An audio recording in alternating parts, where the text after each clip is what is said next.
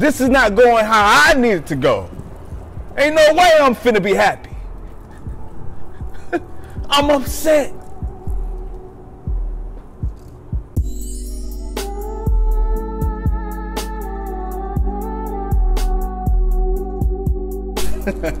Ladies and gentlemen, you are now tuned into Jaja's Mike, home of the world's toughest leaders. It's a pleasure to have you. If this is your first time joining a community, make sure you hit the subscribe button. Subscribe to leadership, mental health, personal development. We're here for you. Today, today, today, today, I've been called to talk about one thing specifically my leader.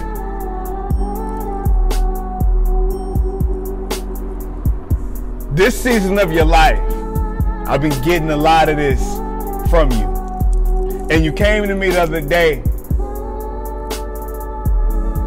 and you said, Jaja.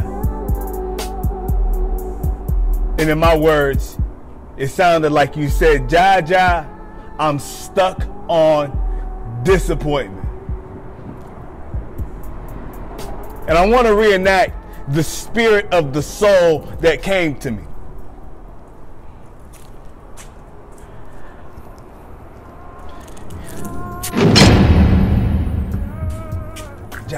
Ja, Ja, Ja, let me tell you something. I I I made these plans. I've written them down meticulously. I've spent months and years on the execution of the idea. It was a thought amongst my heart and my spirit. And Ja, Ja, when I went to when I went to go execute it, I could not get the results that I wanted. So I went back and I tried it again. I still cannot get the results I wanted. I'm stuck on disappointment. So I went out, I went out and I and I tried it again and I still couldn't get the results that I needed. I just it's not working right now. I'm confused, John. I'm confused. I am stuck on disappointment. It, it, has to go this way. This is the plan. I'm, I'm very meticulous about what I do. And for this not to be working, I just don't understand, John. I'm stuck on disappointment.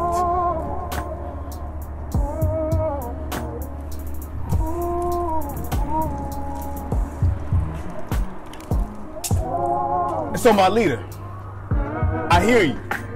I hear your spirit. I hear your soul. I know what you're going through. And I want to connect this real quick. My leader, I want you to go to Proverbs. Y'all know my favorite, Proverbs. And when you go to Proverbs, I want you to go to, actually, uh-oh, Romans. Hello, Romans 14, 22. In Romans 14 22, it reads, The faith that you have, have it in accord with yourself in the sight of God. Next sentence, which is what this speech is based on happy is the man that does not put himself on judgment by what he approves. My God. Happy is the man that does not put himself on judgment by what he approves. This is about to get exciting right now. This is going to get very exciting. I remember very specifically, very vividly, a great personal encounter with expecting things to go my way. I, it's high school.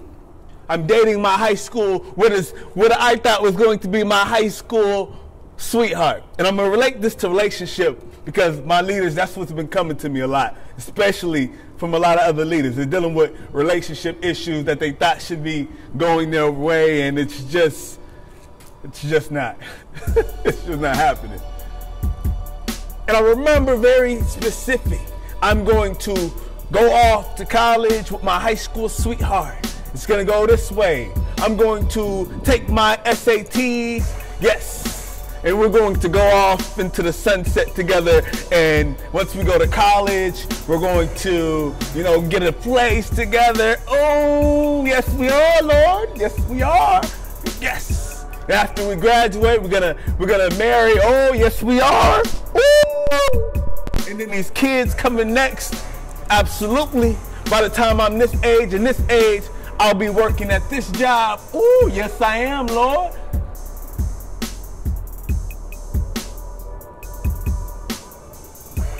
None of it went as planned. none of it, none of it went as planned. Like, hear me out, hear me out. This was very organized, it was very detailed. It had to go this way. My heart was in the right place. This woman loves me. I love this woman. This job and these type of opportunities are destined to happen for me. For crying out loud, I'm a man of God. Lord, you've never let me down. You've never let me down.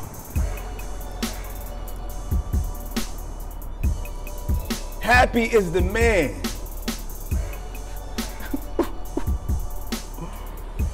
My leaders, I was I wasn't happy. I wasn't happy. And the reason I wasn't happy is because things were not going my way. The text, the scriptures is saying you should look at it in the sight of God. But at the time of disappointment, I was looking at it from the side of me.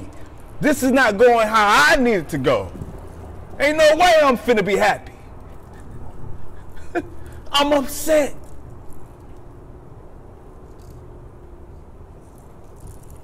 I'm very upset. This is a challenging time. What are you trying to teach me, God? Matter of fact, I'm so distracted with my anger, I, I don't care what you're trying to teach me. It doesn't matter. And my leader, I got in that space still being happy, but deep down in my heart, knowing that, Lord, nah, man, this is, you're not, I know you're not teaching me nothing right now. I must have did something wrong. Maybe I got to replan. Maybe I got to re-strategize. So over and over and over and over again, I'm thinking about other things that I could possibly do, not understanding that in the sight of God, this went exactly how it was supposed to go. In the sight of God, that relationship wasn't supposed to work. In the sight of God, that college was not the college in which I was supposed to go to. In the sight of God, that city was not the city that I was supposed to go to. In the sight of God, those habits were not the habits I was supposed to develop. In the sight of God, that knowledge and that information with those expectations were not the things that I needed to grow into the man of God that the Lord Jesus Christ wanted me to be in the sight of God. But when we when we forget, which is what I did, you end up being at a place of complete confusion because you're not looking at it from a spiritual standpoint. And because you're not looking at it from a spiritual standpoint, you cannot see the benefits. And so, because you cannot see the benefits, you cease to be happy that God is actually working for your life. So instead of being happy, you're stuck on disappointment. My leader, I want you to get out of being stuck on disappointment.